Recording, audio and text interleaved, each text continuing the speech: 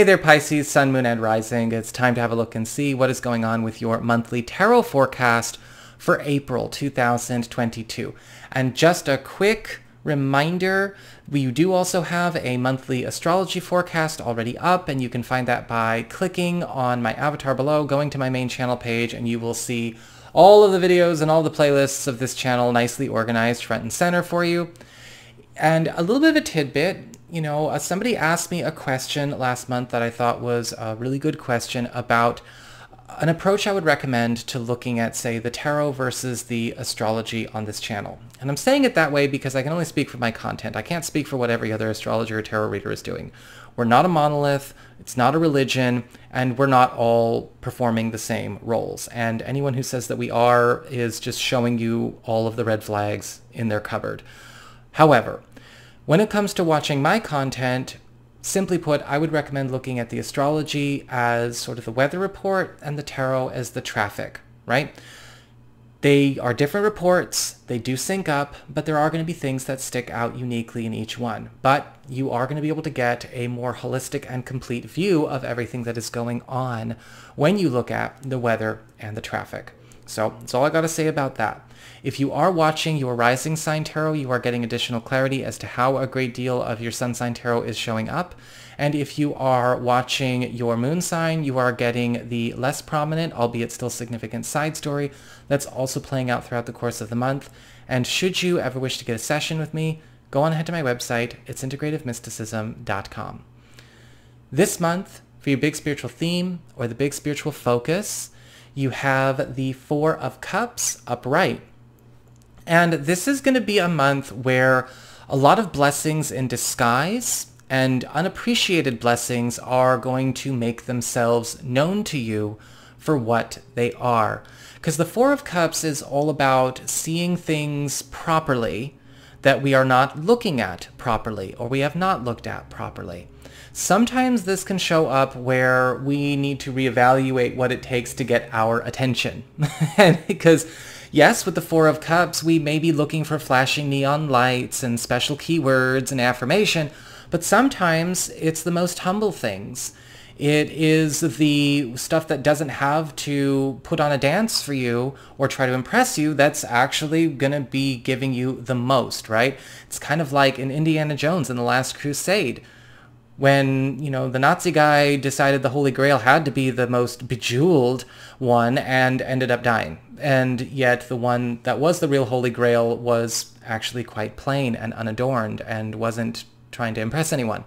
This is going to be a month where a lot of things in the recent and less recent past, as well as maybe even some stuff going on in the present, are going to be taking you through some of those lessons. But the good news is, is even if you think you've made any mistakes, this is a time where we are correcting a lot of it. So you can still have all of these goodies in hand. But we have to adjust what we are looking for, how we're looking for it, and what we allow to get through to us. When it comes to your material circumstances, your work, your job, your finances, we do have the Ten of Swords reversed, as well as the Six of Cups reversed.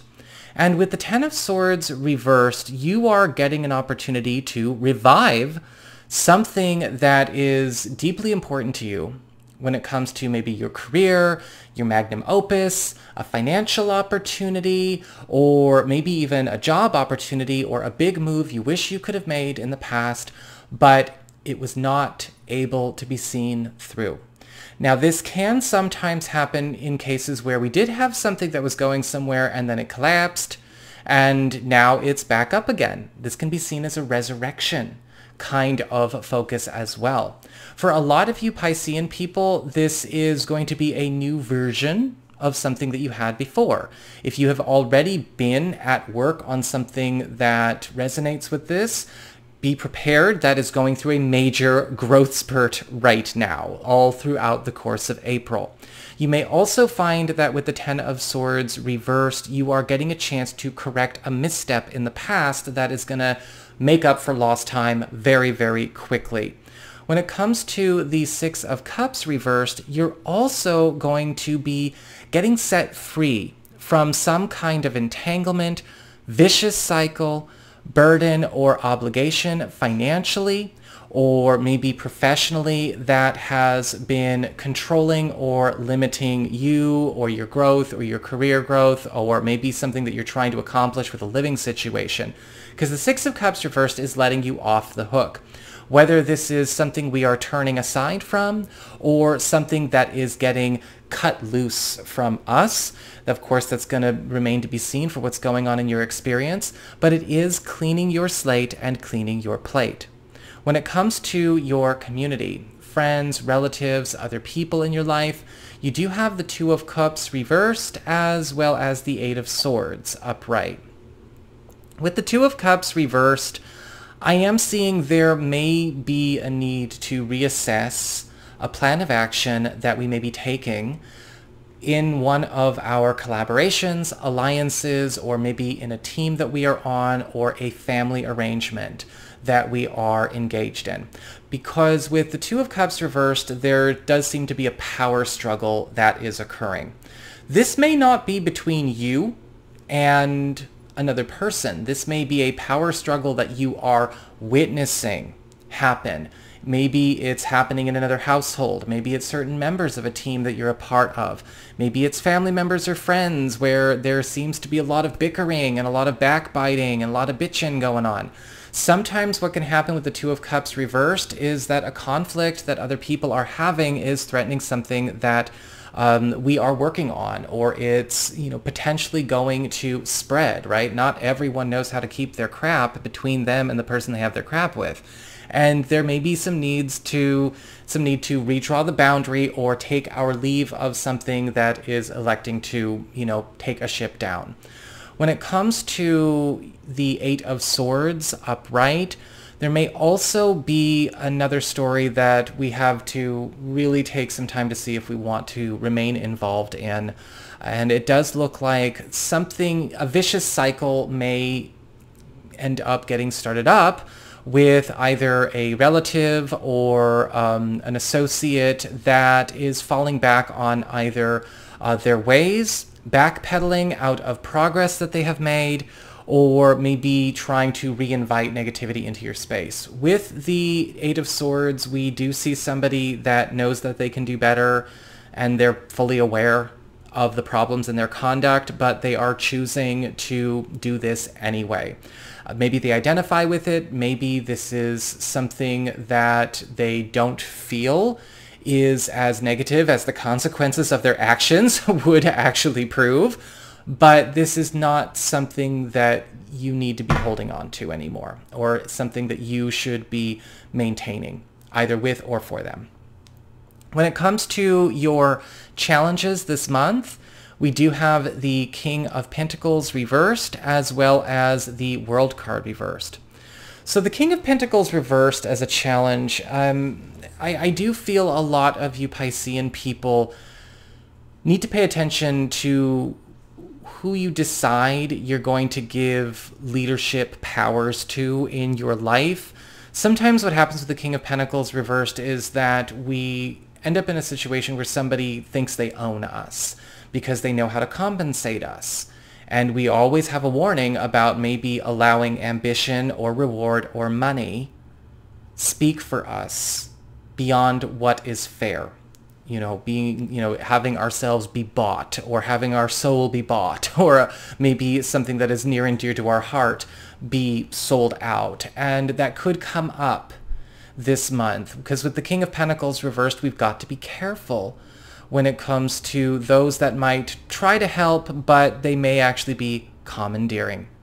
The World card reversed is also indicating a positive challenge that you've got to be ready for. Because the positive challenge of the World card reversed is an opportunity for a do-over, something that we do get to reconnect with, but it may be something that still invokes a sense of self-consciousness or it invokes a sense of insecurity. This could be exactly what we talked about with the Ten of Swords reversed revival, or this could be a blessing in disguise as it relates to the Four of Pentacles upright, or maybe something going on in a more personal way or a personal aspect of your life. But with the world card reversed, something that does not have to stay quiet, stay down, or stay locked up or hidden is getting a chance to be revisited and done over and embraced by you. But sometimes good things can make us feel uncomfortable because it forces us to, you know, clear all the feelings we may have had or developed about something that we may have lost, never got to develop, never got to explore, or um, what was going on when we decided to move on from it. When it comes to your relationships with love, romance, and partnerships, we have the Nine of Cups reversed and the Hangman reversed. And even reverse, the Nine of Cups can still indicate some wonderful news. And I do see wonderful news in love and romance.